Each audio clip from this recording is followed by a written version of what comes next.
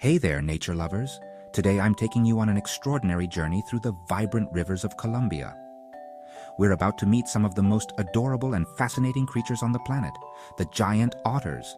These playful guardians of aquatic habitats are not just cute faces, they play a crucial role in keeping our rivers healthy. First, let's talk about their size. Giant otters can grow up to six feet long. That's like having a water-bound Labrador retriever. With their sleek, muscular bodies and webbed feet, they're built for speed and agility in the water. And those whiskers, they're not just for show.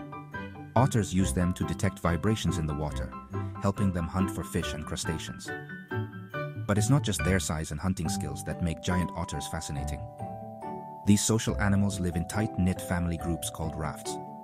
They communicate using a series of whistles, hums, and even screams. Each sound has a specific meaning, helping them coordinate during hunts and protect each other from predators. It's like a secret otter language. Now imagine you're a fish in the Colombian River. Suddenly, you see a family of giant otters approaching. It's a thrilling yet terrifying sight. Otters are masterful hunters, and their presence helps maintain a balanced ecosystem. By preying on fish and other aquatic creatures, they prevent any one species from dominating the river. This balance is crucial for the health of the entire habitat. But these guardians of the rivers face significant threats.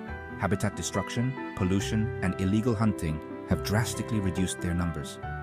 Conservation efforts are underway to protect these magnificent creatures, but they need our help. Supporting local and international conservation organizations can make a huge difference in preserving the giant otter's habitats and ensuring their survival. So the next time you find yourself near a river in Colombia, keep an eye out for these incredible animals. Watch as they glide through the water with grace and agility, playing and hunting with their families. Remember, they're not just playful mammals, they're vital guardians of our aquatic ecosystems. Thanks for joining me on this wild adventure. If you enjoyed this video, don't forget to like, subscribe, and hit that notification bell for more amazing wildlife stories. Until next time, stay curious and keep exploring.